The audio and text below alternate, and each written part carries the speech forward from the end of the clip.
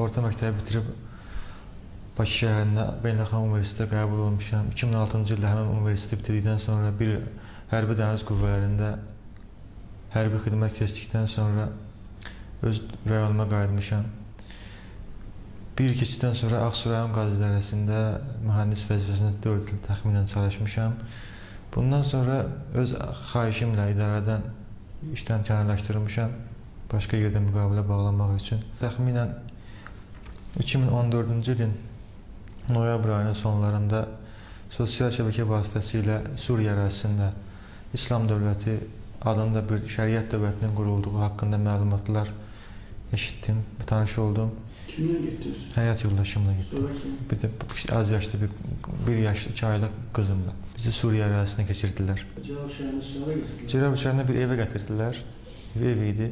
Kimlər vardı həmin evdəki? Evdə hər millətdən insanlar var idi. Yəni, bizi kimi 30-35 nəfər belə insan var idi orada. Sizdən əvvəl gəlmiş şəxslər. Bizdən əvvəl oldu, bizdən sonra gələnlər oldu. Raqqa şəhərinə apardılar. Raqqa şəhərinə çatdıqda yenə bir bizi bir evə bir evə yerləşdirdilər. Raqqa şəhəri kimin nəzarəti altında idi? Raqqa şəhəri e, İslam dövləti qruplaşmasının nəzarəti altındadır. Orada bizi yenə ailələrimizdən ayırdılar. Bir evə yerləşdirdilər bizi.